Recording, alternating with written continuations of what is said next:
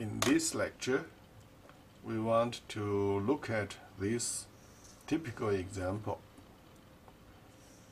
Given matrix A, which is 6, 5, 2, 7, this is a 2 by 2 matrix. We want to do things here. A, find the determinant which can be written in two ways is two vertical line and then a in the middle of it. Another way to write is determinate det and then brackets with a inside. The first one might be easier is like this. Do 6, 5 and then 2, 7.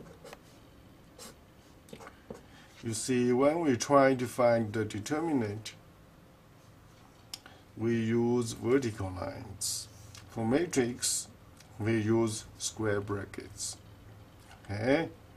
So what we do is 6 times 7 minus 2 times 5. Okay? You do is like this. 6 times 7 and then you have a green one is right here. Okay. Minus 2 times 5 and here is the red one huh? okay. So what do we get is 42 minus 10, which is 32. Of course, 32 is not 0.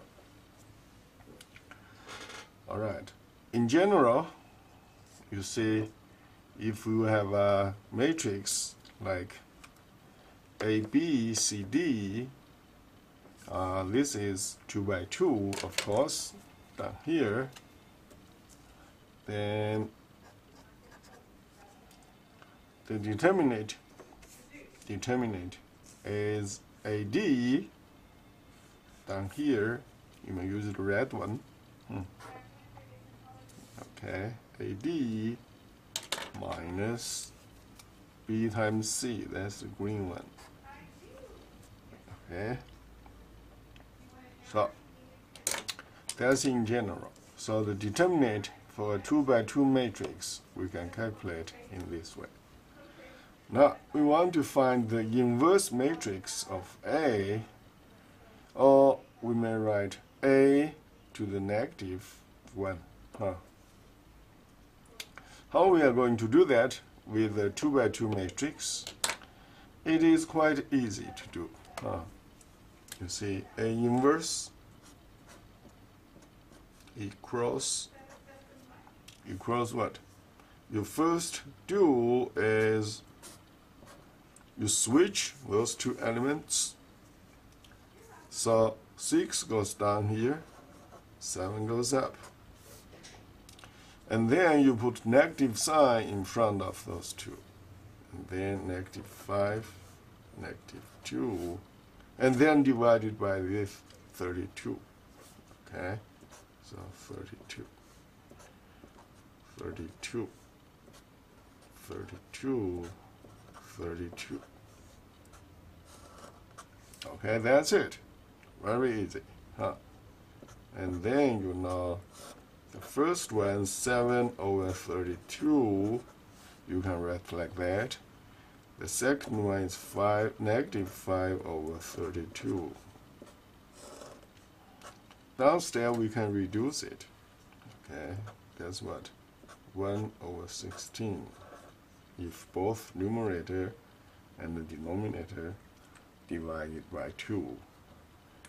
This one can also be reduced. That's 3 over 16 if both numerator and denominator divided by 2. Huh? Okay, so we'll get that. That would be the inverse. Very easy, huh?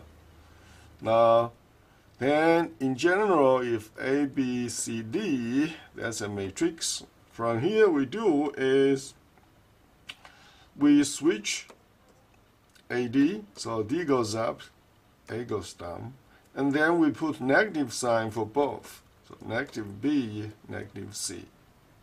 Okay, we don't switch, huh? We just put negative sign. And then you know AD minus BC is a determinant. So rather than AD minus BC, you may put determinant downstairs.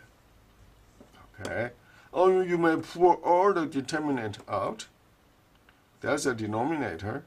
And then write DA in this way. And BC, you keep it, but put negative sign in front of it.